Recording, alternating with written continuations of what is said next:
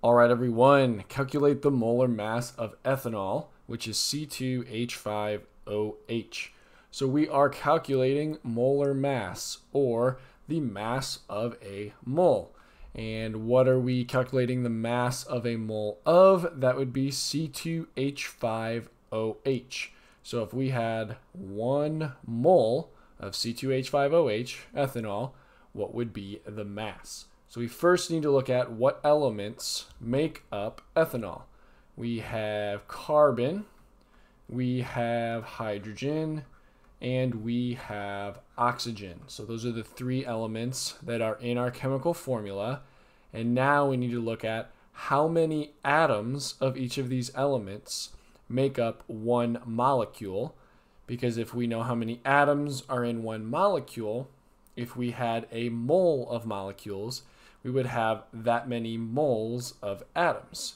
So looking at our chemical formula for carbon, we have a 2 because it's C2. So that means if we had a mole of ethanol, that would be 2 moles of carbon.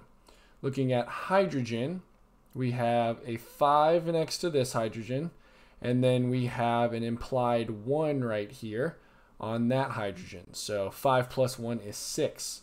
So if we had a mole of ethanol, we would have six moles of hydrogen atoms.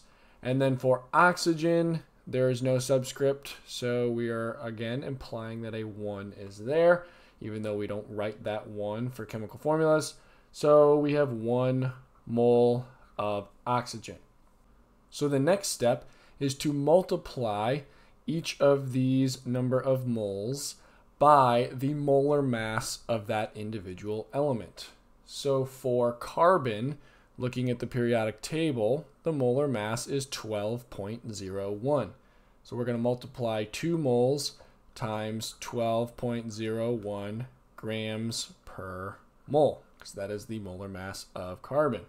We have hydrogen next, which is 1.01, looking at the periodic table. So 1.01 grams per mole.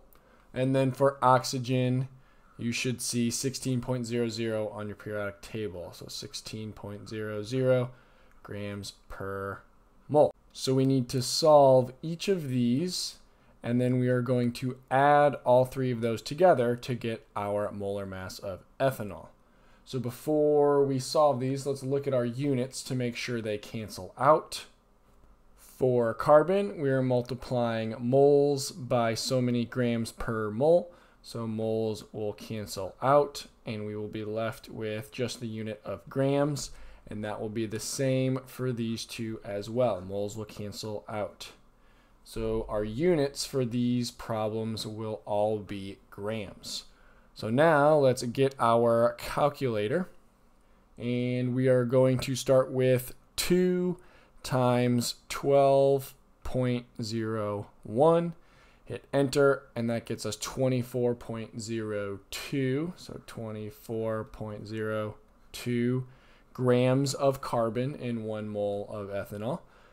Now we got our second one. So for hydrogen, we're starting with 6. We're going to multiply by 1.01 and we get 6.06. So 6.06 grams of hydrogen.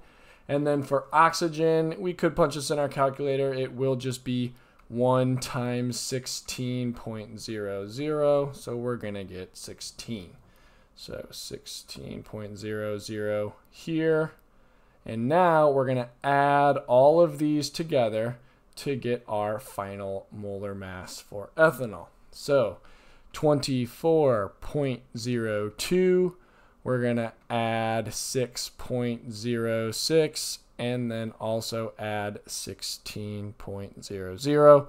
Hit enter and we get 46.08. So for our final answer, we get 46.08 grams.